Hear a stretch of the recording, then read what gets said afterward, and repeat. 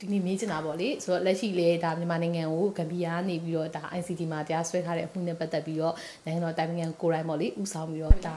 တဟိတ်မှာတွားပြီး၃ရက်ကြာတရားတွားပြီးတော့ရင်ဆိုင်ခဲ့ပြီးပေါ့လေဆိုတော့ဒီမှာဂမ်ဘီယာဘက်ကစွဲလာတဲ့စွဲချက်ဒီထဲမှာဆိုလို့ရှိရင်မြန်မာနိုင်ငံတွင်းကမတူညီတဲ့အတိုင်းဝိုင်းတွေကြားကပေါ့လေဒီအမုန်းစကား HP တွေပြောတဲ့ဟာတွေလိုက်ဒါသူတို့အနေနဲ့တက်တည်အထောက်ထားအနေနဲ့တင်လာမျိုးကိုလည်းတွေ့ရတယ်ဆိုတော့ဒီအမုန်းစကားတွေကဒီမတူညီတဲ့အတိုင်းဝိုင်းဒီလူတွေကြားထဲမှာဒီရခိုင်ဒေသကပြဿနာတွေပဲဖြစ်ဖြစ်ပေါ့လေမြန်မာတငန်ဒီမှာချင်းဆိုလို့ရှိရင်လည်းဒါ minority အနေနဲ့ရှိတယ်ပေါ့လေဆိုတော့ဒီအတိုင်းဝင်းတွေမတူညီတဲ့အဖွဲ့တွေကြားထဲမှာဒီအမုန်းစကားတွေကဘယ်လောက်ထိနိုင်ငံပေါ်နစ်နာမှုရှိနိုင်လဲလို့မြင်လေမြင်နေတယောက်အနေနဲ့အာတော်တော်များများပေါ့နော်ဒီကိစ္စတွေတိုင်းကဟိုအရေးဆုံးစကားနဲ့ဟိုတယောက်နဲ့တယောက်ဆိုလို့ရှင်လဲဟို ဟိုစကားတွေနဲ့ပဲစကားတွေကဟိုစကားရဲ့အသွားအလားစကားရဲ့အသုံးအနှုန်းပေါ့နော်စကားရဲ့တန်ရောက်မှုကဟိုတော်တော်လေးကိုဟိုအရေးပါအရာရောက်တာဖြစ်တဲ့အတွက်ကြောင့်မလို့ဒီအမုန်းစကားဟိုဒီအပြောများတဲ့အားကလည်းဟိုအရန်ဟိုကောင်းကျိုးဖြစ်စေဆိုးကျိုးဖြစ်စေအရန်ကိုထိရောက်မှုရှိရလို့ညီမအနေနဲ့တော့မြင်ပါတယ်ဆိုတော့ ကိုယ်တိုင်ပေါ့လေဟိုဟိုဒါတော့ဒီမှာဟိုမှာဆိုလို့ရှိရင်လည်းရခိုင်မှာဆိုလို့ရှိရင်လည်းရခိုင်နေရှိမယ်မွတ်စလင်တွေရှိမယ်တခြားပေါ့လေဟိန္ဒူတခြားမျိုးသက်တခြားတိုင်းရင်းသားတွေလည်းရှိကြတယ်ဒါနီးဆက်ဆက်နေတဲ့ဒါချင်းမှာဆိုလို့ရှိရင်လည်းဒါ platform မှာဆိုလို့ရှိရင်လည်းဒါလက်ရှိလည်းတိုက်ပွဲတွေဖြစ်နေတာမျိုးတွေလည်းရှိရပေါ့ဆိုတော့ကိုယ်တိုင်လည်းဒီချင်းလူငယ်တယောက်အနေနဲ့ဒီလက်ရှိမြန်မာနိုင်ငံတွင်းမှာမတူညီတဲ့အတိုင်းဝင်ဒီဘာသာပေါ့လေလူမျိုးအစုံခြားမှာရေရှည်ငင်းငင်းကြမ်းကြမ်းနဲ့အတူတကွရှင်တွဲပြီးနေဖို့အတွက်ဆိုရင်ဘာတွေလိုအပ်နေတယ်လို့မြင်လဲ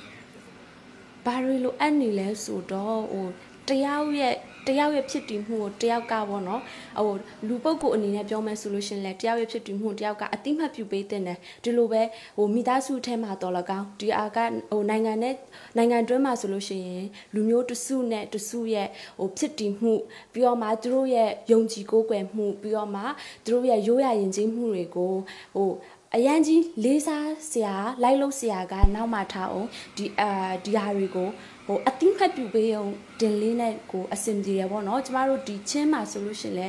ဟိုဟိုတော်တော်လေးအဒီလိုမျိုးဟိုကိုယ့်ရဲ့ယဉ်ကျေးမှုတွေအတိမတ်ပြုမခံရတဲ့အပြင်ဟိုဒီတခြားသူရဲ့ဟိုဟွာထဲကို အတင်းဒါကချင်းမဟုတ်ပါဘူးဒါကငါတို့ပဲဖြစ်ပါတယ်ဆိုပြီးတော့မှတွသွင်းခံရတဲ့အခြေအနေတွေဟာဆိုလို့ရှင်လဲလက်ရှိမှာဖြစ်ခံစားနေရတယ်ပေါ့နော်ဟုတ်ကဲ့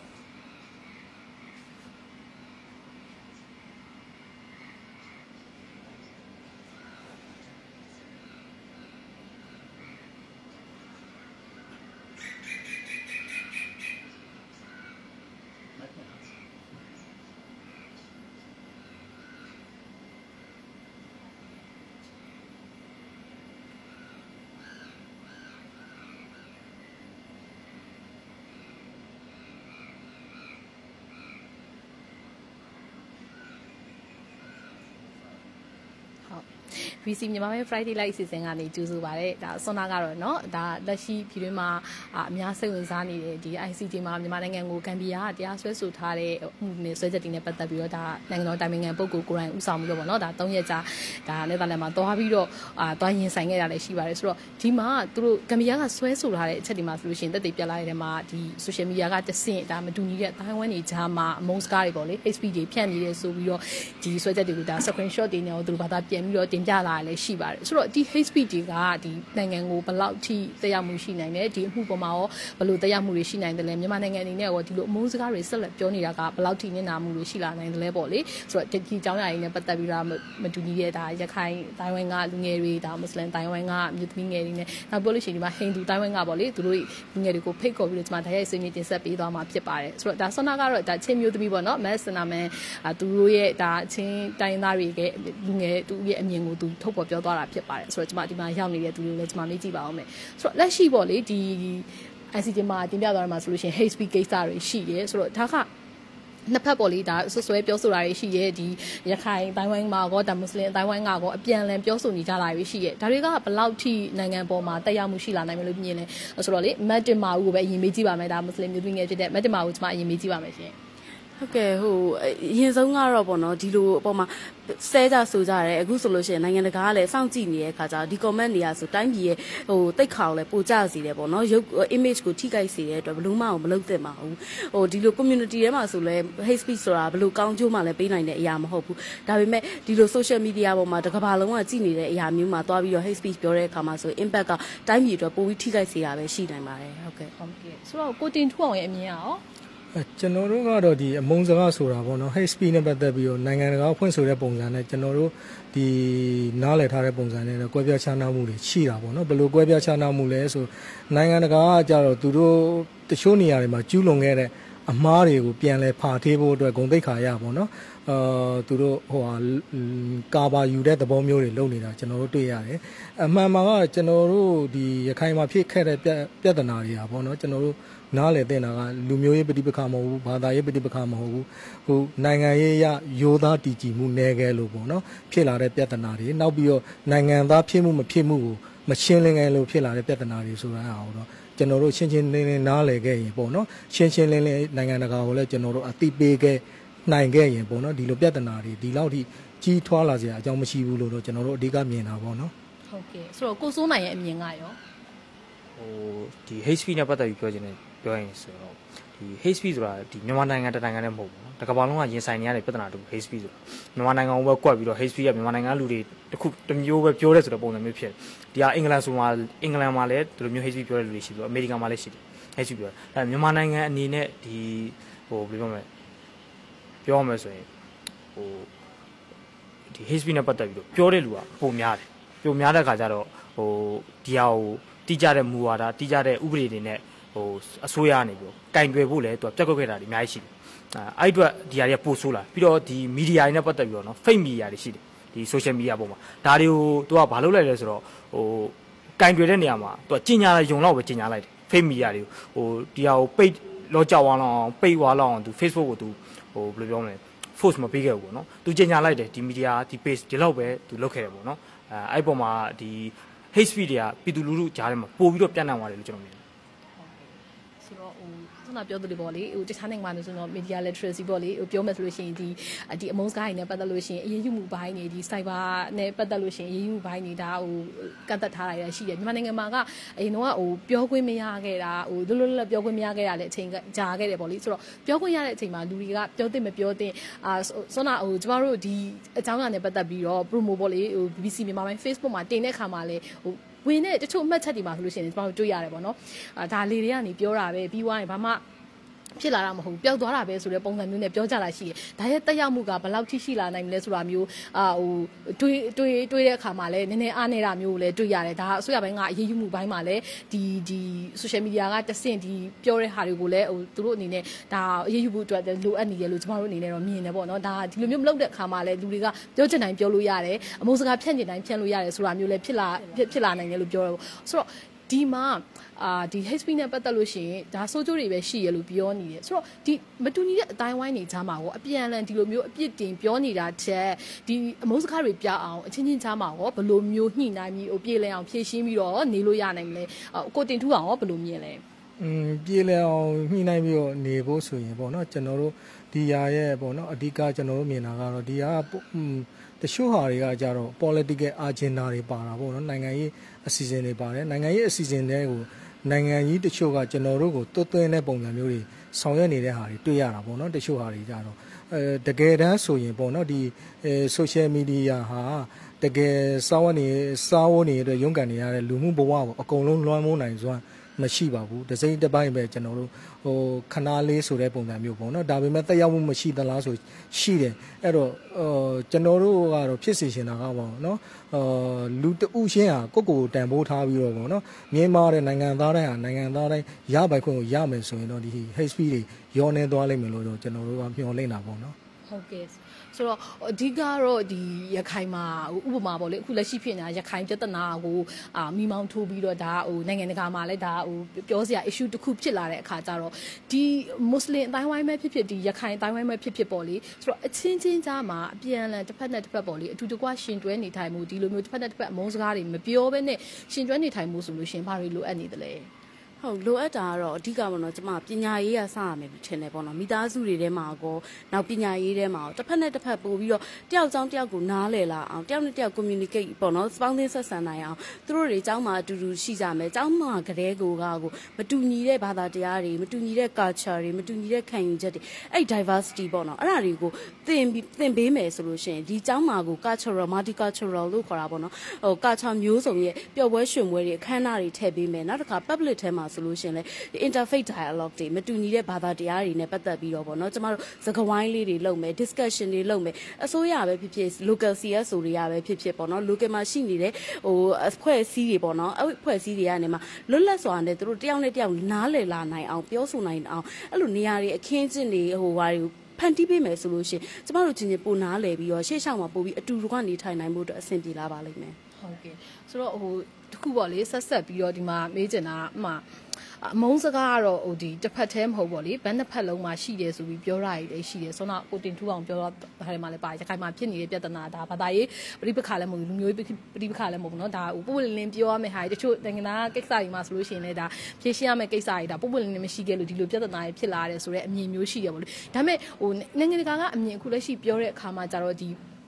မွတ်စလင်အတိုင်ဝင်းနဲ့ဒီရခိုင်အတိုင်ဝင်းဒီမှာဟိန္ဒူပေါ့နော်ဒီမှာရှိတဲ့ဒီရခိုင်မှာရှိတဲ့ပြည်ထနိုင်မှာဆိုလို့ရှိရင်လည်းဟိန္ဒူတွေအသက်ခံရတာလည်းရှိရပါလိမ့်ဆိုတော့ဒီမှာအများအမြင်ကတော့တစ်ဖက်နဲ့တစ်ဖက်ဒီအတိုင်ဝင်းတွေကမထည့်ဘူးအမြင်ကတစ်ဖက်ကိုတစ်ဖက်မုန်းပွားနေတယ်ရန်ဆောင်နေကြတယ်ဆိုတာမျိုးမြင်နေဆိုတော့ကိုတင်ထူအောင်တို့ဒီရခိုင်လူငယ်တယောက်အနေနဲ့ဆိုရင်ဒီအမြင်တွေပေါ်မှာဘာပြောချင်တယ်လဲကျွန်တော်တို့ကတော့ဒီ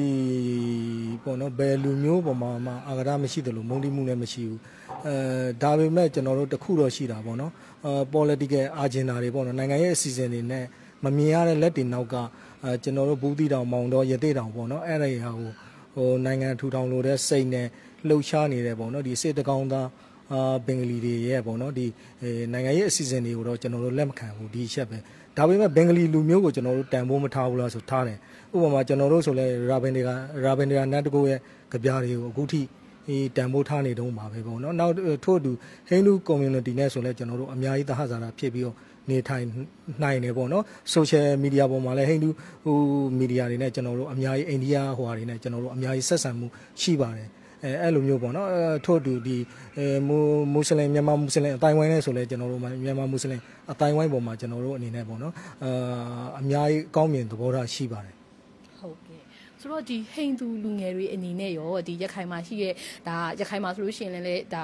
မွတ်စလင်နဲ့ရခိုင်အများစုရှိနေပေမဲ့လည်းဟိန္ဒူလူမျိုးတွေလည်းရှိရမျိုးသက်ပေါ်လေးတခြားတိုင်းရင်းသားတွေလည်းရှိတယ်ဆိုတော့ဒီလူငယ်တွေရဲ့အမြင်ကရောဟိန္ဒူလူငယ်တွေရဲ့အမြင်ကရောဘယ်လိုမျိုးရှိတယ်လဲ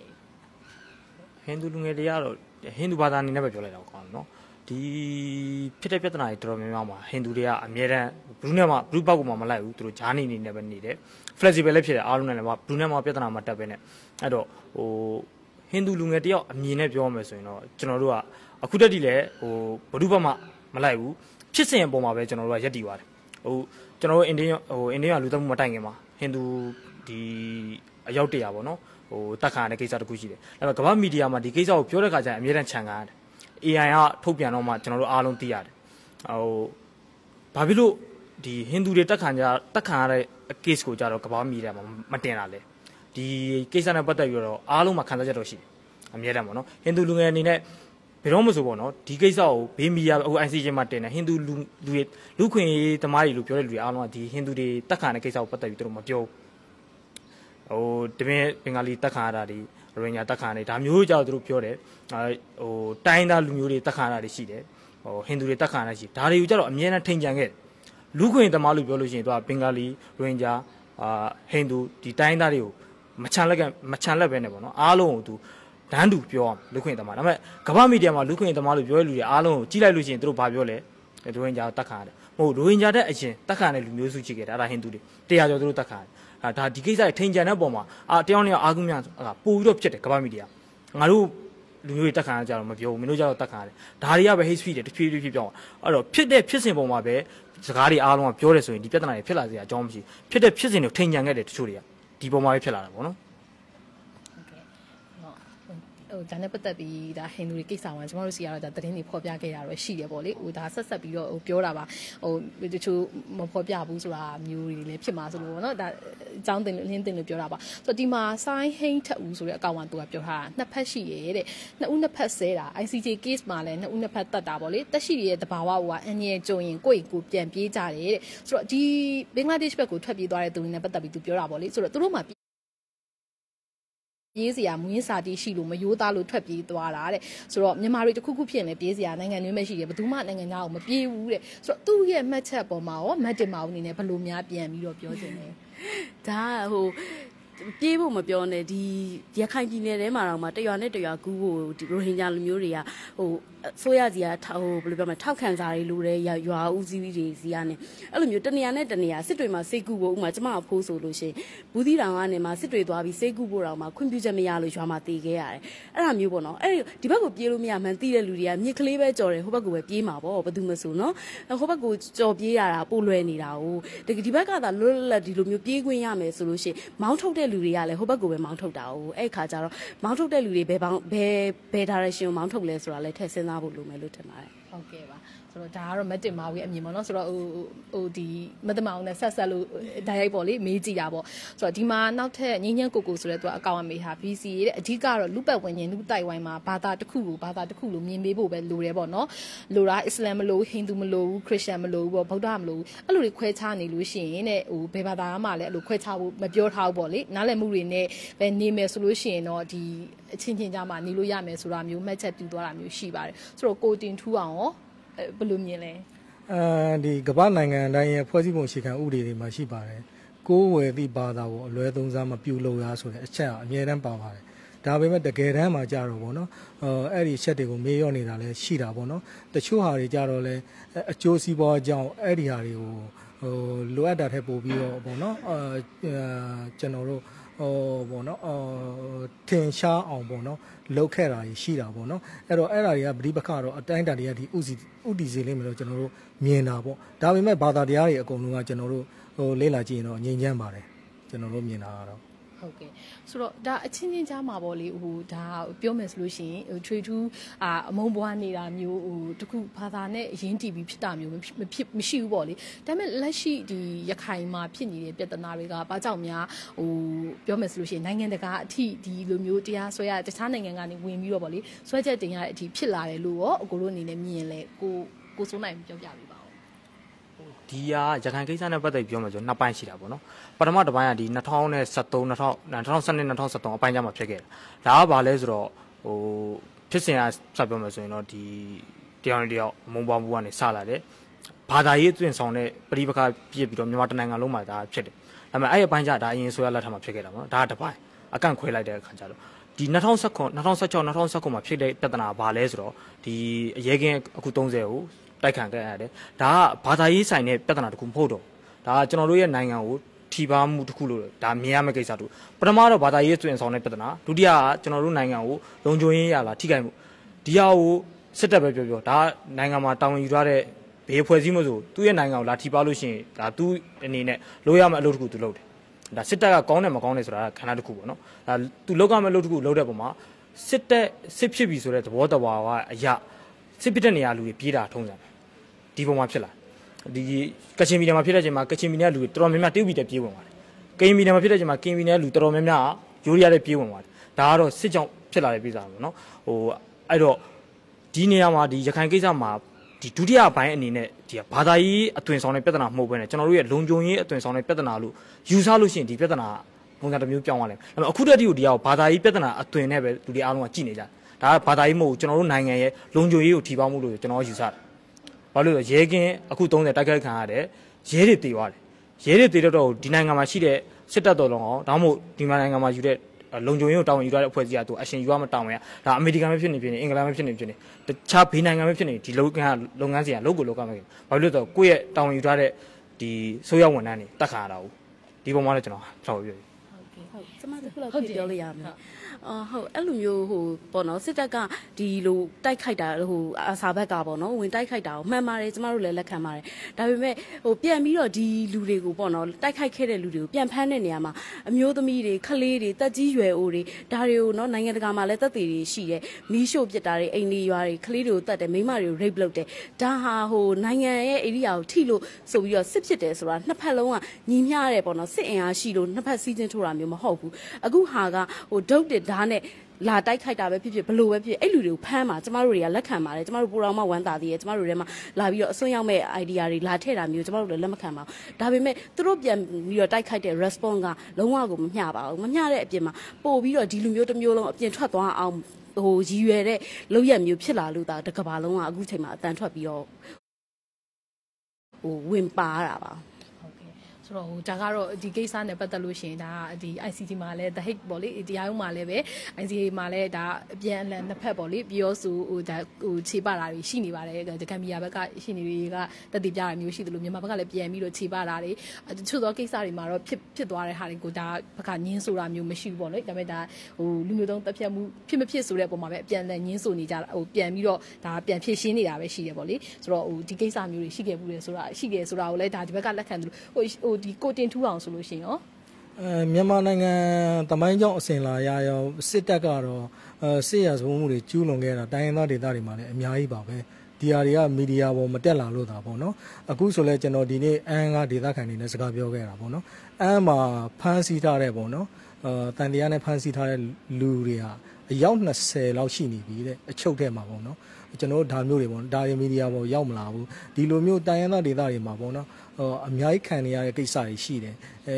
ဒီတော့ကျွန်တော်တို့တချို့ဟာတွေမှာတော့ဟိုစစ်တပ်ကျူးလွန်တဲ့စစ်ရာဇမှုမှုတွေကိုကျွန်တော်တို့အနေနဲ့အရေးယူနိုင်ဖို့ဖော်ထုတ်နိုင်ဖို့စ조사ရမှာဖြစ်တယ်လို့ပေါ့နော်ဟိုတိုင်းရင်းသားအာတချို့ဟာပေါ်နိုင်ငံရေးအစီအစဉ်တွေပါလာတဲ့ပေါ့နော်ဟိုနောက်ွယ်ကမမြင်နိုင်တဲ့အဲလက်တွေရဲ့ကစားမှုကိုလည်းကျွန်တော်တို့ဟိုတန်တရားနဲ့တတိထားပြီးတော့စောင့်ကြည့်ဖို့လိုအပ်တယ်အဲဒီဟာကျွန်တော်တို့ကိုတကယ် ပေါ့နော်အချင်းကျက်တဲ့ကိုရောက်အောင်တွန်းပိုးနေတဲ့အခြေအနေမျိုးတွေဖြစ်နေတာကျွန်တော်တို့တွေ့ရတယ်ဒါဟာတနည်းအားဖြင့်ဒါ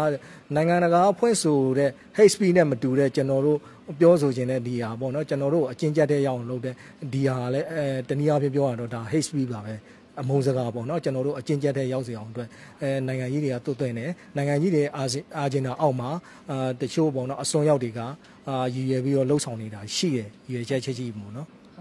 ဆောင်းလာပြောသလိုဒါကတော့ဒီလက်ရှိမတူညီတဲ့အတိုင်းဝန်းတွေကြားမှာရည်ရှည်ဘယ်လိုမျိုးနေလို့ရမလဲအမုန်းစကားတွေဘယ်လိုခြေဖြတ်ကြမလဲတစ်ဖက်တစ်ဖက်ဘယ်လိုထိမ့်သိမ်းပြီးပြောကြမလဲပေါ့လေဆောင်းလာဟိုဒီမှာပြောသွားရတယ်မှာဆိုလို့ရှိရင်ဒီကိစ္စတွေကဒါကတော့ဒါတရားရုံးမှာဖြေရှင်းတာဟိုသူတို့ရဲ့ဒါပြန်လည်ဖြေရှင်းရမယ်ကိစ္စတွေပေါ့လေကျမတို့ဒီမှာကတော့ဒီကိစ္စတွေကိုအငင်းမပွားလို့ပေါ့နော်ဆိုတော့အဓိကသွားချင်တာကတော့ဒီနှစ်ဖက် ဒီမတူညီတဲ့အတိုင်းဝင်းဒီကအစုံမော့လေးတိုင်းရင်းသားတွေကြားမှာပဲဖြစ်ဖြစ်ဒီမွတ်စလင်ပဲဖြစ်ဖြစ်ဒီဟိုပေါ့နော်ဟိန္ဒူပဲဖြစ်ဖြစ်အားလုံးကြားမှာဟိုအချင်းချင်းအတူတူကရေရှည်ဒီနိုင်ငံအတွင်းမှာပဲဒါနေနေကြတဲ့နိုင်ငံသားတွေအနေနဲ့ဆိုလို့ရှိရင်ရေရှည်မှာအတူတူကနေဖို့အတွက်ဆိုလို့ရှိရင်ဒါကိုယ့်ရဲ့ပေါ့နော်ဟိုအတိုင်ဝင်းတွေမှာအမုန်းစကားတွေမဖြစ်အောင်ကိုကိုယ်တိုင်နဲ့ထိမ့်သိမ့်ဖို့လိုသလိုတခြားတစ်ဖက်ကိုလည်းပေါ့နော်ဒါသွားပြီးတော့ဒါအမုန်းစကားတွေဖြစ်ဖို့အတွက်မလုပ်ဖို့အတွက်လည်းလိုအပ်တယ်ပေါ့လေဆိုတော့ ဒီရှူရောင်းနေဆွေးနွေးနေကြတာဖြစ်တဲ့ကြောင့်မလို့ဒီမှာဆိုလို့ရှိရင်အာကျွန်မဆောင်းမပြောတာတော့မမဘူးတော့ကျွန်မမေးတယ်ပေါ့နော်ဒီဟာတွေမဖြစ်အောင်ဆိုလို့ရှိရင်ဘာတွေလုပ်ဖို့လိုအပ်တယ်လဲဆိုတော့ဒီရေးရှိအတူတကွနေဖို့အတွက်ဆိုလို့ရှိရင်ရောဟိန္ဒူလူငယ်တွေအနေနဲ့ဆိုလို့ရှိရင်ရောဘယ်လိုမျိုးမြင်လဲဘာတွေလုပ်ဖို့လိုအပ်နေရလို့ထင်လဲကိုကိုရိုင်းကိုအတိုင်ဝင်းငါပဲဖြစ်ဖြစ်ပေါ့လေဟိုရေးချေအတူတကွလက်တွဲနေထိုင်မှုဆိုရင်တော့ကျွန်တော်တို့ကအဓိကပြကျွန်တော်တို့အရင်တော့1960ဝန်းကျင်မှာဒီစာအုပ်ထဲတွေမှာအဓိကဘာတင်ရလဲဆိုပြည်သူနီတိဆိုပြီးတင်ရတယ်အဲ့လိုမျိုးပေါ့ လမ်းသွားရင်လမ်းစည်းကမ်းဆိုတာရှိတယ်ပါဇက်စကားပြောလို့ရှိရင်ပါဇက်ဘယ်လိုပြောရမလဲဆိုတာအဲ့လိုမျိုးဒီစည်းကမ်းတွေကိုနိုင်ငံတော်ဆိုးရနေပြီးတော့ပြန်ပြီးတော့ပြည်သူနီတိပုံစံမျိုးပြန်ပြီးအသက်သွင်းလို့ရှိရင်ဒါတွေကတဖြည်းဖြည်းနဲ့ပပျောက်သွားလိမ့်မယ်အတူတူတော့ကနေထိုင်မှုအတွက်လည်းပြီးတော့ဒီပြည်သူနီတိမတိတဲ့ခါကျတော့ဘာဖြစ်လဲဆိုတော့တယောက်နဲ့ခွဲခြားမှုဆိုတာကိုလက်သုံးစကားလို့သုံးလာကြတယ်ဟိုကလားဆိုတဲ့အသုံးလုံးပဲဖြစ်သေးအမှတခုခုပေါ့နော်ဂေးဆိုတာပဲဖြစ်စီဖြစ်သေး LGBT ပဲဖြစ်နေပြီဒါတွေကိုခွဲခြားမှုစကားလုံးအသုံးလုံးနေနေပဲသူတို့သုံးလာကြတယ်ဒါကိုသူတို့ရှက်ဒါတွေပြောလို့ရှိရင်ရှာအောင်မှမသိတော့ဘူး ပြည်သူနီတိမသိတတ်တော့ဘူးဒါတွေကိုကျွန်တော်တို့အစိုးရအနေနဲ့စီမံချက်တစ်ခုအနေနဲ့ရေးရှည်ဟိုဘယ်လိုပြောမလဲဥပဒေတစ်ခုဒါမှမဟုတ်ဟိုပညာအကြောင်းပညာမှာဖြစ်ဟိုပုံဖော်လာလို့ရှိရင်ယဉ်ကျေးတဲ့လူမှုအတိုင်းအဝိုင်းဖန်တီးလာနိုင်ပြီဆိုရင်ဒါတွေအားလုံးကတဖြည်းဖြည်းနဲ့ပျောက်သွားမယ်လို့ကျွန်တော်ထင်တယ်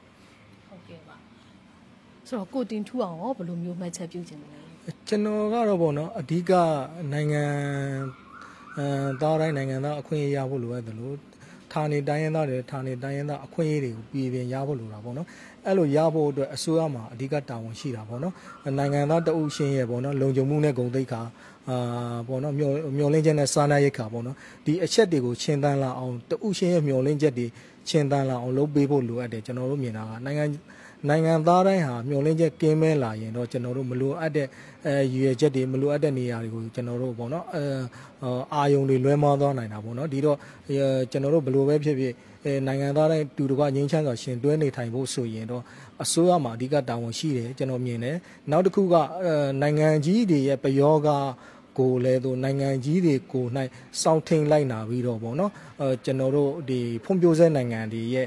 ပေါ့နော်ဖွံ့ဖြိုးတိုးတက်မှုကိုလာပြီးတော့ပေါ့နော်မချဲလေဖို့နောက်ွယ်ကမကစားဖို့အတွက်အဓိကမေတ္တာရခံခြင်းတယ်ကျွန်တော်တို့အနေနဲ့ပေါ့နော်အဲဒီဟာဆိုရင်တော့အတိုင်းအတာတရားထိကျွန်တော်တို့ပြည်လည်သွားလိမ့်မယ်လို့ကျွန်တော်တို့မြင်တယ်နောက်ပြီးတော့တနည်းအားဖြင့်ဒီအဲပေါ့နော်ကျွန်တော်တို့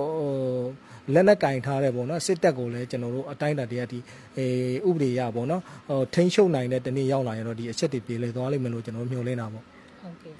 ဒါဆောနာဆက်ဆက်ပြီးပြောသွားလို့ပေါ့လေဟိုဒီစစ်တပ်ကတချို့ကျူးလွန်တဲ့အခုဒီမှာဆိုလို့ရှိရင်စစ်ကွန်ရုံးကတစင်ပြန်ပြီးတော့ဒါစီရင်ပြီးတော့အပြစ်ပေးတာတွေလည်းရှိနေတယ်အာဒေါက်ဆန်စုကြည်ကိုယ်တိုင်လည်းဒါဟိုတဟိတ်မှာသွားပြောတဲ့အခါမှာဒီပြည်ရင်းကတရားစီရင်ရေးပေါ့လေဟိုဒါမရိုင်မလဲအောင်လို့ဟိုသူတို့အနေနဲ့ဒါထိန်းချောင်းနိုင်အောင်လို့လှုပ်ဆောင်နေရည်လည်းရှိတယ်ဆိုတော့ဒီဟာဒီလက်ရှိတက်မှတ်အောင်လုပ်နေတဲ့ဟာတွေပြ issue ရိုင်လည်းမတော့အောင်လို့ပေါ့လေဒီပြည်ရင်းမှာလက်ရှိဟို ကောင်းအောင်လုပ်နေတဲ့ဟာတွေကိုလည်းပဲဒါဆက်ပြီးတော့လုပ်နိုင်မှုအတွက်အခြေအနေတည်းရလည်းလိုအပ်တယ်ဆိုတာမျိုးထောက်ပြသွားရလည်းရှိတယ်ပေါ့နော်အဲကျွန်မဒါကြုံလို့ဒါလေးထည့်ပြီးတော့ပြောပြတာပါဆိုတော့လေဒီမှာပြည့်ပြည့်ဆိုတဲ့အကောင်ကပါတော့ပြည်သူ့နီတိပြန်တင်တော့မယ်တဲ့လာမယ့်နှစ်ချင်တဲ့အကြောင်းတွေမှာတဲ့ဆိုတော့ဒါကိုစိုးနိုင်ရဲ့ဆောနာဟိုပြောသွားတဲ့ဟိုမှတ်ချက်နဲ့ပတ်သက်ဟိုနော်ဒီဆွေးနွေးချက်နဲ့ပတ်သက်ပြီးတော့ဒါပြန်ပြီးတော့မှတ်ချက်ပြူတာပါဆိုတော့ဒါကဆောနာမမဦးပြောသွားတဲ့မှာလည်းပါပါတယ်ဒါ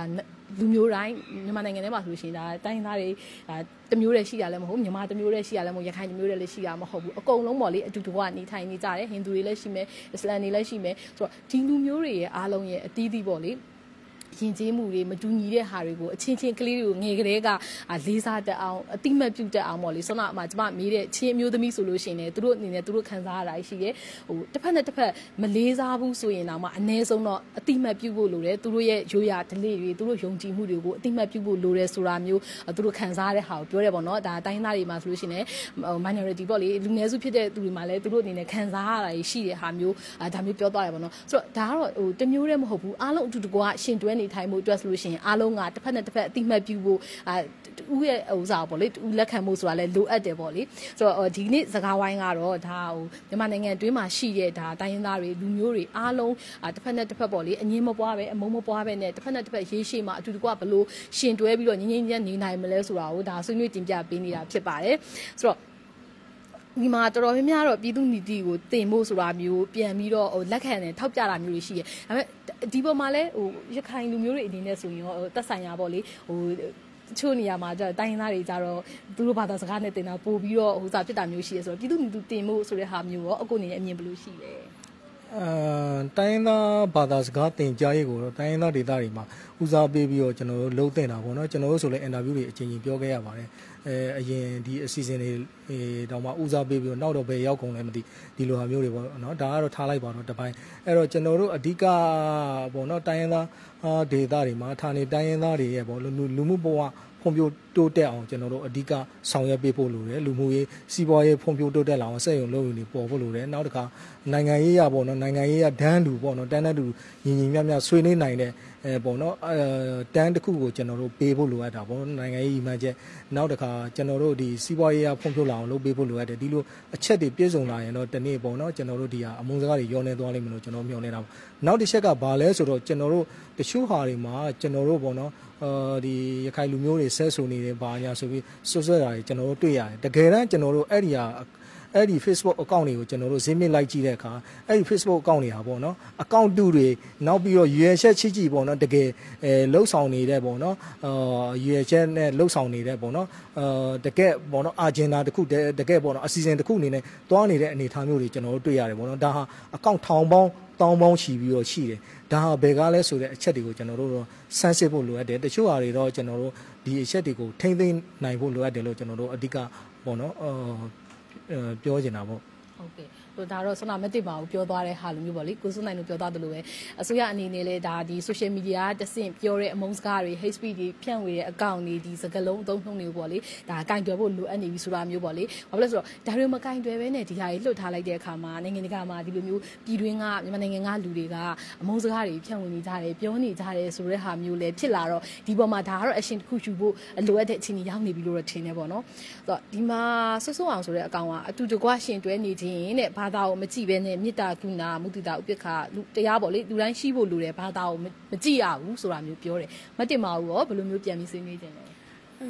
အမှန်တော့ဘာသာတရားဆိုတာကကျမရဲ့ယုံကြည်ချက်ဆိုလို့ရှင်တော့ဒီလူသားတယောက်ရဲ့ရှင်သန်မှုမှာပေါ့နော်သူ့အတွက်လိုအပ်တဲ့ spirituality လို့ခေါ်တာပေါ့စိတ်သက်ခွန်အားတွေအဲ့ဒါတွေအတွက်ပဲသုံးသင့်တယ်ဘာသာတရားကဘယ်တော့မှနိုင်ငံရေးမဖြစ်လာသင့်ဘူးဒါပေမဲ့ဟို wellness ဆရာကောင်းတာကဘာသာတရားကို နိုင်ငံရေးအရာကောနော်ပုံကိုရေးအရာကော3လ3လကြာရကနေတဖြည်းဖြည်းနဲ့ဘာသာတရားဟာလက်နက်တစ်ခုတောင်ဖြစ်လာတယ်ပေါ့အဲ့ဒါကတော်တော်ကြီးကိုကျမတို့ဒီခေတ်ဟိုကျမတို့အတိုင်းဝိုင်းနေမှာဆိုလို့ရှိရင်ဘာသာတရားကိုပြန်ဆန်းစစ်ဖို့လည်းလိုလာတယ်ပေါ့ဘာသာတရားတွေကတချို့အရာတွေကိုဆိုလို့ရှိရင်ကျမတို့တွေကဒီဟာတွေကတော့ငါတို့ရဲ့ဒီခေတ်ဒီစနစ်နဲ့မညီတော့ဘူးဒါမှမဟုတ်လည်းငါတို့ရဲ့ဟိုငင်းညမ်းစွာအတူရှင်တွဲနေထိုင်ရေးမှာထိခိုက်တယ်ပေါ့နော်ဒါတွေကိုလည်းကျမတို့ဖော်ထုတ်ဖို့ဆိုဟို interfaith dialogue တွေအများကြီးလုပ်ဖို့လိုတယ်နောက်တစ်ခါအခုရခိုင်ပြည်နယ်နဲ့ပတ်သက်လို့ဆိုတော့ကိုတင်ထူအောင်လည်းပြောသွားတယ်ကျမတို့ကြားထဲမှာ interfaith dialogue ကတော့တယောက်ကိုတယောက်နားလည်ဖို့အဲ့လိုပဲ politically မှာလည်းတယောက်ကိုတယောက်နားလည်ဖို့ဘာလို့ကျမတို့ရခိုင်ပြည်နယ်မှာရှိတဲ့ဒီလူမျိုးစုတွေရဲ့ခေါင်းဆောင်တွေပဲဖြစ်ဖြစ်ပေါ့နော်ပြည်သူတွေပဲဖြစ်ဖြစ်ကျမတို့တွေထိုင်ပြီးတော့မဆွေးနွေးကြည့်ကြရတာလေကျမတို့တွေကိုဟိုအစိုးရကဥဆောင်ပြီးတော့ပေါ့နော်ဇပွဲကုံပေါ်မှာကျမတို့ထိုင်ပြီးတော့ပုံပွင့်လင်းလင်းသာပြောခွင့်ရကြမယ်ဆိုတစ်ဖက်ကလည်းဒါနိုင်ငံရေးနဲ့ခွဲထွက်ဖို့စ조사နေတာဆိုတာမျိုးအဲအဲ့လိုမျိုးတန်နေရတွေဒီတန်နေရတွေကိုကျမတို့ကောင်းကောင်းဖြေရှင်းနိုင်မယ်ဆိုလို့ရှိရင်ကျမတို့အတူတူကမနေထိုင်နိုင်စရာအကြောင်းမရှိပါဘူးဘာလို့လဲဆိုတော့ရခိုင်ပြည်မှာခံနေရတာကရခိုင်ကြီးပဲလည်းမဟုတ်ဘူးရိုဟင်ဂျာကြီးပဲလည်းမဟုတ်ဘူးဟိန္ဒူကြီးပဲလည်းမဟုတ်ကျမတို့အားလုံးကိုရဲ့အခွင့်အရေးကိုချိုးဖောက်နေတဲ့တစုံတစ်ခုကအများနဲ့ကျမတို့တိုက်ခိုက်နေတာပဲလေအဲ့တော့ကျမတို့တွေအချင်းချင်းကြားမှာဖြစ်နေတဲ့ပြဿနာလည်းမဟုတ်ဘူးဒါဘာသာရေးပြဿနာလည်းမဟုတ်ဘူးကျမအမြင်ကတော့အရန်ကိုရှင်းပါတယ်ဒါအကြောင်းကြောင့်ကြောင့် geopolitics ကြောင့်ပဲဖြစ်ဖြစ်ဟိုနိုင်ငံရေးအကျိုးမြတ်ကြောင့်ပဲဖြစ်ဖြစ်ကျမတို့ကြားမှာရန်တိုက်ပေးနေတဲ့သူတွေကရှိကိုရှိနေတာပါဟုတ်ကဲ့ဟို ဒါကတော့ဒါမွတ်စလင်လူငယ်တွေဒါရခိုင်လူငယ်တွေရဲ့အမြင်ပေါ့လေဒီမှာဟိုကိုစွန်းနိုင်တို့ခုမေးကြပါတယ်ဒီမှာမိုဟာမက်ဖာရက်ဆိုတာသူကတော့အကောင့်ကပေါ့လေတရားဥပဒေစိုးမိုးဖို့ပဲလိုတယ်တဲ့အကိုရောဘယ်လိုမြင်လဲအဲ့ဒါလည်းအမှန်ပဲတရားဥပဒေစိုးမိုးပွဲလို့ကျွန်တော်ဒီပြဿနာတွေတော်တော်များများဖြစ်ရတဲ့အကြောင်းရင်းကဒီတရားဥပဒေစိုးမိုးမှုမရှိလို့ပဲဒီပြဿနာတွေဖြစ်တာအစွမ်းကဟိုဘာသာတရားကိုမတင်ရဘူးဆိုတဲ့လူတယောက်ပြောသွားတယ်ဘာသာတရားမလိုဘူးဆိုပြီးတော့နော်အဲ့ဒါလေးဆက်ဆက်ပြီးတော့တခါလေးပြောရရင်ဘာလဲဆိုတော့ဟိုဖြစ်နေတဲ့ပြဿနာတွေအားလုံးကဘာသာတရားကြောင့်ဖြစ်တာမဟုတ်ဘာသာတရားဆိုတာဝါဒတစ်ခု ဒီဝါဒမှာအခြေခံတဲ့ဝါဒီတွေကြောင့်ဒီပြဿနာဖြစ်တာဒီဝါဒတွေကိုထားပြီးတော့ဒီဝါဒီတွေကပဲဒီပုံရိပ်တွေဝါဒကိုဟိုဘယ်လိုပြောမလဲပုံဖော်တာတဲ့ဒီဝါဒီတွေကပုံဖော်တာကောင်းတဲ့ပုံစံမျိုးပုံဖော်လို့ရှိရင်ဒီကောင်းတဲ့ဟာဖြစ်လိမ့်မယ်မကောင်းတဲ့ပုံစံမျိုးပုံဖော်လို့ရှိရင်တော့မကောင်းတဲ့ဟာဖြစ်လိမ့်မယ်အဲ့တော့ဘာသာတရားမလိုရဘူးလားဆိုတာဒါကိုယ့်ရဲ့တူတယောက်ရဲ့ပုဂ္ဂလိကကဏ္ဍပေါ့နော်ဒါပေမဲ့ဒီဟာတွေအားလုံးကဘာသာတရားကြောင့်ဖြစ်နေတာမဟုတ်ဘာသာတရားကိုအခြေခံပြီးဖြစ်လာတဲ့ဝါဒီတွေကြောင့်ဖြစ်နေတာလို့ပဲကျွန်တော်ပြောချင်တယ် ဟုတ်ကဲ့ဟော ဒီမှာလေ David ဟို Jan နဲ့ဆိုရဲအကောင့်ပေါ့လေသူကပြန်မှတ်ထားတာလေသူမှတ်ချက်လေးလေကျွန်မဖတ်ပြကြမှာမင်းလဲလူငါလဲလူလို့မြင်ရပါပြီတဲ့ class ဆိုတဲ့အဓိပ္ပာယ်ကဘာလဲဆိုရဲသူရှင်ခေါ်လို့ရပါတယ်ဒီလိုသာဆက်ခေါ်နေမယ်ဆိုရင်ကိုယ်နိုင်ငံအတိုင်းသားအချင်းချင်းတောင်အာမင်းကဘာငါကဘာဆိုပြီးခေါ်လာနိုင်တယ်တဲ့အားလုံးမြန်မာနိုင်ငံမှာနေတဲ့အတွက်မြန်မာနိုင်ငံတိုးတက်ဖို့ကိုသာဦးစားပေးတင်ပါတယ်တဲ့ကိုတင်ထူးအောင်ဒီမှတ်ချက်ကိုဘယ်လိုမျိုးပြန်ပြီးဆွေးနွေးခြင်းလဲကျွန်တော်တို့ကတော့အခု ICJ ရရောက်လာတဲ့ကိစ္စပေါ့နော် ICJ မှာဒီ face ဒီ ဒီ HP နဲ့ပတ်သက်ပြီးတော့တင်လာတဲ့ကိစ္စတွေဟာအဓိကအခြေခံလာတဲ့ဟာတွေပေါ့နော်ဒီနိုင်ငံတကာမှာလှုပ်ရှားနေတယ်ပေါ့နော်ဒီဒီဒီရိုဒင်ဆန်းလွင်တို့နောက်ပြီးတော့ဒီပေါ့နော်ဒီ ဒီထေလွင်ဦးတို့ဘာတို့ပေါ့နော်အဲသူတို့မှာအကောင့်တွေမြောင်းမြောစွာရှိရပါကျွန်တော်တို့မြင်ထားတာကလေ Twitter မှာလည်းသူတို့အများကြီးဒီလိုမျိုးပေါ့နော်တကယ်ပြည်တွင်းအခြေအနေမှန်ကိုဖုံးကွယ်ပြီးတော့ပေါ့နော်ရိုနင်ဆန်းလင်လို့ဆိုရင်တင်ခဲ့တာရှိတယ်ဟိုအဂျာစီကတော့လက်မခံဘဲနဲ့ပယ်ချခဲ့တာရှိတယ်ပေါ့နော်ဒါဒီလိုအချက်တွေကိုနိုင်ငံတကာလည်းယုံကြည်လက်ခံနေတာကတော့ကျွန်တော်တို့ဟိုတကယ်ဝမ်းနည်းစရာကောင်းတဲ့အချက်ပေါ့နော်ဒါတစ်ချက်တွေ့တယ်နောက်တစ်ခုကဘာလဲဆိုကျွန်တော်တို့စစ်တပ်မှာ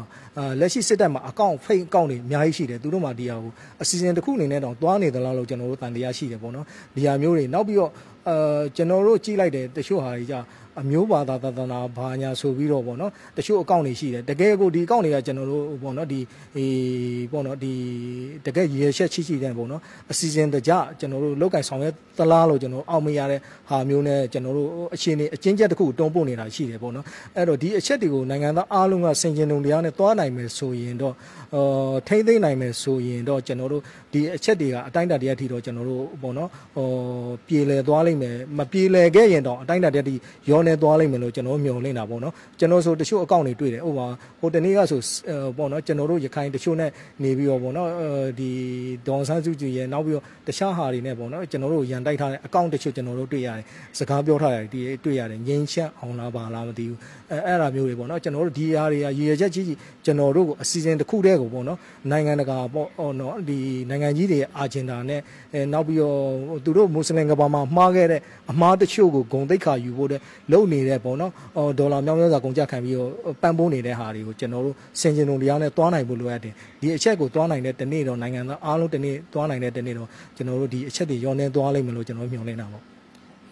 ဆိုတော့ဒါတော့ကိုတင်ထူအောင်ရဲ့အမြင်ပေါ့လေဆိုတော့ဒါကတော့ hate speak ကတော့ဘယ်ဘက်ကပဲပြောပြောအကောင့်တူပဲပြောပြောအကောင့်စစ်ပဲပြောပြောဒီ hate speak ဆိုတဲ့တစ်ဖက်နဲ့တစ်ဖက်ကြားမှာဟိုဘာသာတစ်ခုနဲ့တစ်ခုကြားမှာအတိုင်းဝန်းတစ်ခုနဲ့တစ်ခုကြားမှာအမြင်ဟိုကွဲပြားစေမဲ့မငြိမ်းချမ်းစေမဲ့စကားမျိုးတွေကတော့ဘယ်အကောင့်ပဲဖြစ်အကောင့်စစ်ပဲဖြစ်အကောင့်တူပဲဖြစ်ဖြစ်ဒါမှပြောတင်တဲ့အရာပေါ့လေဆိုတော့ဟိုဒါနဲ့ပတ်သက်လို့ရှိရင်တော့ဒီမှာ online ပေါ်မှာဆိုလို့ရှိရင်လည်းပဲတော်တော်များများကအမြင်တွေရှိတယ်ပေါ့လေတခုခုဆိုလို့ရှိရင်ရှေ့ ထွက်ပြီးတော့ဆဲနေကြတယ်မှားလားမှန်လားမဝေခဲစားဘူးเนาะဆိုတော့အသိဉာဏ်ပိုင်းဆိုင်ရာမှာစဉ်းစားဖို့စဉ်းကျင်လုံးတရားလိုအပ်နေရဆိုတဲ့အမြင်မျိုးတွေဒါတော်တော်များများပြောတယ်ဒီ ICJ ကိစ္စမှာဆိုလို့ရှိရင်လည်းဟိုဒီ၃ရက်လုံးပါပေါ့เนาะဒီသတင်းဌာနကအတီးတီး live လွှင့်တဲ့အခါမှာဝင်ပြီးတော့ဆဲဆိုတဲ့အမုန်းတရားပွားစေတဲ့ comment တွေလည်းတွေ့ရတယ်ဒါပေမဲ့အချင်းချင်းပြန်ပြီးတော့ပေါ့เนาะပြန်ထိန်းကြရတယ်လည်းအခုတွေ့ရတယ်ဘာလို့ဆိုတော့ဒီကိစ္စတွေကဒါ ICJ ထိဒါဆွဲချက်ထိဒါပြန်ပြီးတင်လာတယ်တက်တေအနေနဲ့ဒါမျိုးအမုန်းစကားတွေပွားနေပါတယ်တစ်ဖက်နဲ့တစ်ဖက်ကြားမှာမလိုလားတဲ့ဟိုတူဦးကိုတူဟိုဟိုအတိုင်းဝမ်တစ်ခုတစ်ခုမ မလိုလားတဲ့အပြုမှုမျိုးစကလုံးမျိုးတွေတွေ့နေရတယ်ဆိုတဲ့ဟာမျိုးနဲ့ပြန်ပြီးတော့ဗောနော်တင်လာမျိုးတွေတွေ့တဲ့အခါကျကျမတို့အနေနဲ့ဒီပြည်တွင်းမှာရှိတဲ့သူတွေပဲဖြစ်ဖြစ်လေပြည်ပကရှိတဲ့သူတွေပဲမြန်မာနိုင်ငံသားတွေဒီမြန်မာနိုင်ငံနဲ့ပတ်သက်လို့ရှိလို့ရှိတော့ဒါတယောက်နဲ့တယောက်ကြားမှာအမုံမပွားဖို့အတွက်အချင်းချင်းထိန်းသိမ်းကြဖို့လိုအပ်နေပြီဆိုတာကိုဒီဟာတော့ပြနေပြီလို့ကျမတို့မြင်နေပေါ့လေဆိုတော့ဒါမက်တမာဦးတို့လည်းဒီအမြင်တိုင်းမဲ့ဒါကျမဆွေးနွေးရတာကိုတွေ့ရပါတယ်ကိုတင်ထူအောင်ဒါကိုစိုးနိုင်အောင်ပေါ့လေဆိုတော့ နောက်ဆုံးအပိတ်တွေပေါ့နော်ကျွန်မမေးချင်တာကအခုလက်ရှိဆွမ်းနာအောင်ကပြောသွားရလဲဒါအသီးသီးအမြင်တွေကိုပြောတယ်ပေါ့လေရေရှိအတူတကွနေနေထိုင်မှုဆိုလို့ရှိရင်လက်ရှိကရောဘာကြောင့်အတူတကွညင်ညင်ညင်မနေနိုင်ကြရလို့ရောမြင်လဲ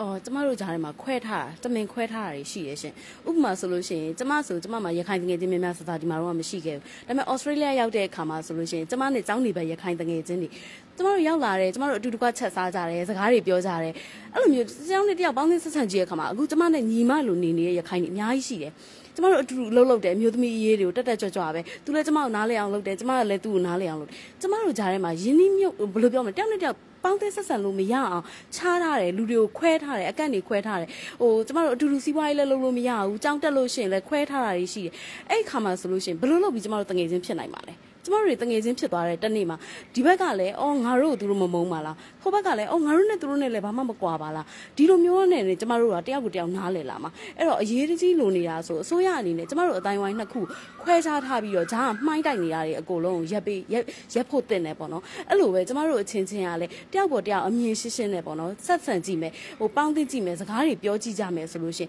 မကြခင်မှာကျမတို့တွေကလူလူချင်းဘာမှမကွာဘူးအားလုံးကောင်းကောင်းမွန်လေးနေကြကြတာကြီးပဲလေအဲ့ပေါ်မှာကျမတို့ဟိုအကောင်းဆုံးနေထိုင်သွားနိုင်မယ်လို့ယုံကြည်ပါတယ်ဟုတ်ကဲ့ကိုစွနိုင်ရောဘယ်လိုမျိုးမှတ်ချက်ပြုချင်လဲကျွန်တော်အနေနဲ့ပြောမယ်ဆိုရင်ဒီ HP ပေါ့နော် HP ကအခုဆိုရင်ဒါ ICJ ပြဿနာမြန်မာနိုင်ငံကိုရောက်လာတဲ့အဓိကအကြောင်းအရာဒါလည်း HP တခုပဲဂမ်ဘီယာမြန်မာနိုင်ငံကိုလုပ်တဲ့ HP လို့ကျွန်တော်အနေနဲ့မြင်တယ်ဘာလို့လဲဆိုတော့ဒီအာဖရိကနိုင်ငံတနိုင်ငံမှာဒီဒီဂမ်ဘီယာဘေးမှာရှိတဲ့ပတ်ချတဲ့နိုင်ငံတွေကပေါ်မှာလူခွင့်ချိုးဖောက်မှုအမြင့်ဆုံးနိုင်ငံတွေထဲမှာပါတယ်။သူကဒီဟာကိုကြော်ပြီးဆိုမြန်မာနိုင်ငံကိုလာပြီးတရားစွဲတယ်ဆိုတော့သူ့ရဲ့ယူတော်မှု ပုံမှာကျွန်တော်တို့ကမေးခွန်းထုတ်စရာရှိတယ်ပေါ့နော်နောက်တစ်ခုကဘာလဲဆိုတော့သူတို့ကဒီလိုတရားစွဲလို့ကျွန်တော်တို့ကပြည်လည်သွားမှာလားအဲ့ဒါရှိတယ်ပို့ပြီးတော့ပဲဖုတ်တယ်မှာအခုဝင်ကြပြောပင်ကလေးပြောပြောနော်ရှစ်သိန်းလောက်ဟိုဘက်ကိုထွက်ပြေးသွားတယ်လို့ပြောတယ်ဟိုသူတို့ကိုတရားမျှတမှုဆိုပြီးယူတယ်အမှန်တယ်အဲ့ဒီယူရဲ့ပုံမှာကောင်းမွန်တဲ့ယူပုံယူနီးမဟုတ်ပဲနဲ့မြန်မာတိုင်းငံလုံးကိုပိတ်ပြီးအားလုံးတရားစွဲတာကျွန်တော်အားလုံးတရားစွဲတာလေစစ်တပ်ရဲ့လို့ဆွဲတာမဟုတ်ပဲနဲ့အားလုံးတရားစွဲတယ်ဆိုတော့ကျွန်တော်လည်းပါတယ်အားလုံးတရားစွဲတဲ့ပုံမှာဟိုပြောမယ်ဆိုရင် ပုံရိပ်နိုင်ငံရေးပုံရိပ်ကြွားဆိုဒီမှာရှိတဲ့ပြည်သူတန်း90လို့ဒုက္ခရောက်ဒီမှာလာတဲ့စီးပွားရေးလုပ်မဲ့လူတွေမလာတော့ဘူးအဲ့တော့တနိုင်တရားစွဲလို့ကောင်းလာမဲ့အဖြေ solution တစ်ခုထွက်လာတယ်ဆိုရင်တော့အားလုံးကြိုးစားကြိုးစားရမှာပေါ့ဒါပေမဲ့ဒီဟာကြီးကကောင်းလာတဲ့အဖြေတစ်ခုမဖြစ်နိုင်ကျွန်တော်စိတ်တွေမှာတရားစွဲလို့ဘလုံးဝမဖြစ်နိုင်ဘာလို့ဂမ်ဘီယာရဲ့ပတ်ချလက်မှာရှိနေဟိုတနေ့ကပဲနိုင်ဂျာဆိုတော့ဂမ်ဘီယာဘေးနိုင်ငံတနိုင်ငံပဲသူဘေးလက်မှာစစ်တပ်ကိုဝင်တိုက်သွားတာ81ယောက်လောက်ဆုံးသွားတယ်ပေါ့နော် အဲအဲ့လိုမျိုးပြဿနာတွေရှိနေတဲ့သူ့ပတ်လက်မှာရှိနေတဲ့ဂျားတွေကကြော်ပြီးမြန်မာနိုင်ငံကိုသူတရားလာဆွဲတယ်ဆိုတော့ဟိုသူ့ရဲ့ဆွဲလိုက်တဲ့ဆွဲကသူအားလုံးကောင်းစေချင်လို့ဆိုတဲ့ရည်ရွယ်ချက်ပေါ့နော်ဒါပေမဲ့ဒါပို့ပြီးတော့ hate speech ဖြစ်တယ်လို့ပဲကျွန်တော်ယူဆကျွန်တော်အနေနဲ့ဟုတ်ဟုတ်ဟုတ်ကျမအမြင်ကနည်းနည်းလေးကွာတယ်ပေါ့နော်။ဘာလဲဆိုတော့ဟိုဥမာ ကျမဟိုဒီလိုဆွဲလိုက်လို့မပြေလဲသွားဘူးဆိုတာအဲ့တော့ဒီလိုဆက်တနာတစ်ခုနိုင်ငံကိုဆွဲတယ်ဆိုတဲ့အယူဆအဲ့တော့ဒါ UN mechanism တွေကိုနားမလည်လို့ပြောတာ UN မှာရှိတဲ့ convention တွေအဲ့ဒါတွေအားလုံးကဟိုဥမာစစ်တပ်ကိုလှမ်းပြီးတော့ဒီ convention ကစစ်တပ်ကဟိုစိုင်းထိုးထားတာမဟုတ်ဘူး convention တွေကိုစိုင်းထိုးတာပဲဖြစ်ဖြစ် UN mechanism ကနိုင်ငံနေနဲ့လောက်တာနိုင်ငံနေနဲ့လောက်တာမဟုတ်လို့ဘလို့မဆိုနိုင်ငံကိုပဲဆွဲရတာအဲ့ဒီအခါမှာဆိုလို့ရှိရင်နိုင်ငံကိုပဲဆွဲမှသာနိုင်ငံက action ယူတာဒါကြောင့်မို့လို့ပြည်သူတွေပါပါတယ်ဆိုတဲ့အမြင်ကတော့ဒါကဟို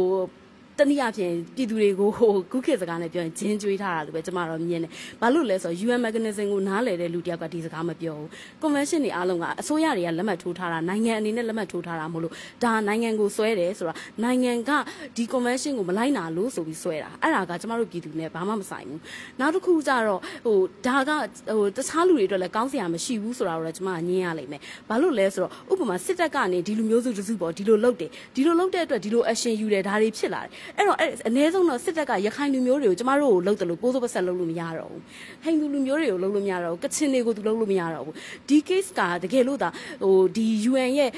ICJ ရဲ့ process ထဲမှာဒါဟာဥပမာတစ်ခုဖြစ်သွားခဲ့မယ်ဆိုလို့ရှိရင်နောက်ခါမှာစစ်တပ်ကိုနောင်ကျင်သွားအောင်လို့ကျမတို့အနေနဲ့ကဒီ case မှာဒီလိုလုပ်လို့ဒီလိုဖြစ်သွားတယ်ဆိုတာရှိတဲ့အတွက်တခြားတိုင်းရင်းသားတွေကိုတော့ကာကွယ်ပေးရရောက်သေးတယ်လို့ကျမကတော့မြင်တယ်ရှင် ဆိုတော့ဒါကတော့အမြင်အသီးသီးပေါ့လေတယောက်နဲ့တယောက်ဟိုဒါတိုင်ဝမ်တစ်ခုဂျားမှာပဲဖြစ်ဖြစ်လူဦးချင်းဂျားမှာဖြစ်အမြင်ကတော့မတူကွဲပြားတာရှိနိုင်မယ်ဒါပေမဲ့အခြေခံအကြောင်းရင်းကတော့ဒီလိုကိစ္စရက်မျိုးတွေဒါဟိုတူးနဲ့တူးခွဲပြားတာပဲဖြစ်ဖြစ်ခွဲခြားတာပဲဖြစ်ဖြစ်မတူညီတဲ့အမြင်တွေမငြင်းညံ့တဲ့အမြင်တွေမရှိဖို့နဲ့အတူတကွဟိုဒါညင်ညင်ညင်ရှင်တွဲနေထိုင်ဖို့ကိုပဲအာဟိုဒါဆိုလိုရင်းဖြစ်တယ်လို့ကျမတို့နားလဲတယ်ပေါ့နော်ဆိုတော့ဆိုတော့ဒါအပိတ်အနေနဲ့ပေါ့လေအာကိုတင်ထူးအောင်အနေနဲ့ဆိုရင်ရောဘာကြောင့်ဒါမျိုးအတူတကွမနေနိုင်ရတာလို့မြင်လဲ အဓိကကတော့ကျွန်တော်တို့ပေါ့နော်ဒီအခု ICG ထိရောက်လာတဲ့ပြဿနာကျွန်တော်တို့မြင်တာကတော့ရခိုင်မှာဖြစ်ခဲ့တဲ့ကိစ္စတွေကိုလူမျိုးရေးပဋိပက္ခလို့မြင်တယ်ဘာသာရေးပဋိပက္ခလို့မြင်တယ်နောက်ပြီးတော့ပေါ့နော်လူမျိုးတုံးတပ်ဖြတ်မှုလို့မြင်တယ်အမှန်က အဲရခိုင်မှာဖြစ်နေတဲ့ကိစ္စတွေကအစိုးရဆက်ဆက်ပေါ့နော်နိုင်ငံရေးရရိုးသားတည်ကြည်မှုနေခဲ့လို့ဖြစ်နေခဲ့တဲ့ကိစ္စတွေဖြစ်တယ်နောက်ပြီးတော့နိုင်ငံသားဖြစ်မှုမဖြစ်မှုကိုမရှင်းလင်းခဲ့လို့ဖြစ်ခဲ့တဲ့ကိစ္စတွေဖြစ်တယ်စစ်တပ်ကလည်းတော့လူမျိုးတုံးတပ်ဖြတ်မှုဆိုတာထက်စာရင်စစ်ရာဇဝမှုကိုအဓိကကျူးလွန်နေတယ်လို့ကျွန်တော်တို့မြင်တယ်ပေါ့နော်အဲ့တော့ဒီအချက်တွေကိုကျွန်တော်တို့နိုင်ငံတကာအနေနဲ့ချင်းချင်းလင်းလင်းသိမြင်နားလည်ဖို့လိုအပ်တယ်လို့တချို့ဟာတွေကိုဟိုပေါ့နော်ဒီနိုင်ငံကြီးတွေရဲ့ပေါ့နော်အာပေါ့နော်ဒီနိုင်ငံရေးအစီအစဉ်အောက်မှာကျွန်တော်တို့ INGO တွေမှာလောက်ကင်ဆောင်ရွက်နေတဲ့လူတွေရော NGO တွေမှာလောက်ကင်ဆောင်ရွက်နေတဲ့လူတွေရောကျွန်တော်တို့ကိုအခြေအနေတရက်အချင်းကျက်တစ်ခုကိုတွန်းမပို့ဖို့အတွက်ကျွန်တော်တို့မေတ္တာရက်ခံခြင်းတယ်တချို့ဟာတွေကအဲကျွန်တော်တို့ရခိုင်လူမျိုးတွေစံတန်ဖိုးတွေကိုပေါ့နော်ဟောနားလည် ရင်တခြားလူမျိုးတွေရဲ့စံတန်ဖိုးကိုလေးစားလိုက်နိုင်ရင်ကျွန်တော်တို့အချင်းချင်းငင်းချမ်းစွာရှင်တွဲနေထိုင်ဖို့ကတော့မဝေးဘူးလို့ကျွန်တော်တို့မြင်တယ်အဲဒါကျွန်တော်တို့အခုထိဆိုရင်ကျွန်တော်တို့ရာဘင်ဒရာနတ်ကိုရဲ့ဘင်္ဂလီအေးကြပြတွေကိုကျွန်တော်တို့မျက်နှိုးတုံးပဲဘင်္ဂလီစာပေတွေကိုလည်းကျွန်တော်တို့လေးထားတုံးပဲဒါပေမဲ့ကျွန်တော်တို့လက်မခံတာကတော့ကျွန်တော်တို့ဒေတာကိုရေရဲချက်ကြီးကြီးအေးပေါ့နော်ဘူးတီတောင်မောင်တော့ရေသေးတောင်ရေရဲချက်ကြီးကြီးနိုင်ငံရေးအစီအစဉ်တွေကလွှမ်းမိုးချုပ်ကင်ဖို့လုပ်နေတဲ့အစီအစဉ်တွေကိုတော့ဘယ်လူမျိုးမှရခိုင်လူမျိုးမှလက်ခံမှာမဟုတ်ဘူးဒီဟာတွေပဲကျွန်တော်တို့ရှိတယ်ပေါ့နော်ကျွန်တော်တို့ယင်ထဲမှာတော့ဘာအမုန်းတရားမှမရှိဘူးကျွန်တော်တို့ရဲ့ရသင်ရထိုက်တဲ့နိုင်ငံသားအခွင့်အရေးရဲ့ဌာနေတိုင်းရင်းသားအခွင့်အရေးရဲ့ဒါတွေကိုပဲကျွန်တော်တို့ရကျင်တယ်ဒါတွေကိုလည်းနိုင်ငံသားအားလုံးရဖို့အတွက်ကျွန်တော်မျှော်လင့်တာပေါ့နော်မျှော်လင့်လဲအားလုံးပြည်လည်လာတဲ့တနေ့တော့ဒီဟာတွေ ကျွန်တော်တို့ငြိမ်းချမ်းသွားလိမ့်မယ်လို့မြင်တာဟုတ်ကဲ့ ဆိုတော့ဒါကတော့ဟိုအတီးတီးပေါ့လေအမြင်ဒါမတူညီတဲ့အတိုင်းဝင်းကဒါရခိုင်လူငယ်တွေရဲ့အမြင်ဒီမှာမွတ်စလင်အတိုင်းဝင်းကပေါ့လေဒါမတင်ပါဘူးနေလေသူ့ရဲ့အမြင်ပေါ့ဒါကိုစိုးနိုင်ဆိုလို့ရှိရင်ဒါဟိန္ဒူအတိုင်းဝင်းအနေနဲ့ကိုစားပြုနေနေပေါ့လေဒါဟိန္ဒူလူငယ်တွေရဲ့အမြင်လူငယ်တွေရဲ့အမြင်ကဒီမတူညီတဲ့အတိုင်းဝင်းတွေကြမှာဘယ်လိုမျိုးအတူတူကရှင်တွဲနေထိုင်မလဲဆိုတော့သူတို့ရဲ့မတူညီတဲ့အမြင်အတီးတီးကိုဒါဆွေးနွေးသွားကြတာဖြစ်ပါတယ်ဆိုတော့ဒီမှာ BC မြန်မာပိုင်းရဲ့ဒီ Friday Live အစီအစဉ်မှာပေါ့လေဒါဒီကနေ့ကတော့မြန်မာနိုင်ငံမှာဖြစ်နေတဲ့ဖြစ်ပေါ်နေတဲ့ဒီအမုန်းစကားပြောတာတွေကိုအာဒါရှက်တန်းစားဖို့နဲ့အချင်းချင်းကြားမှာအမုန်းမပွားဖို့အတွက်ဘယ်လိုမျိုးရှင်တွဲနေထိုင်နိုင်ကြမလဲတူတူကငင်းချမ်းနေထိုင်နိုင်ကြမလဲဆိုတော့ဟာကိုဆွေးနွေးတင်ဆက်ပေးသွားတာဖြစ်ပါတယ်ဆိုတော့ဒီမှာဓာတ်ရိုက်ကြည့်ရှုနေတဲ့သူတွေကကြိုတင်မှတ်ချက်ပြုကြတဲ့သူတွေက live မှာပါဝင်ပြီးဆွေးနွေးပေးကြတဲ့သူတွေကအားလုံးကိုကျေးဇူးတင်ပါတယ်ဒီစီစဉ်မှာဒါပြီးတော့ live ရပေါ့လေဓာတ်ရိုက်လာပြီးဆွေးနွေးပြီးတော့မတ်တင်ပါဘူးကိုစိုးနိုင်အောင်ကိုတင်ထူအောင်အားလုံးကိုကျေးဇူးတင်ပါတယ်ရှင်ဆိုတော့ BBC မြန်မာပိုင်းရဲ့လာမယ့် Friday Live အစီအစဉ်တွေမှာလည်းလူငယ်နဲ့အမျိုးသမီးတွေကြားမှာတည်တဲ့အကြောင်းအရာတွေကိုဆွေးနွေးတင်ဆက်ပေးသွားအောင်မှာဖြစ်ပါတယ်ကျေးဇူးတင်ပါတယ်ကျွန်မကတော့ဝင်းဆန်နာဦးပါ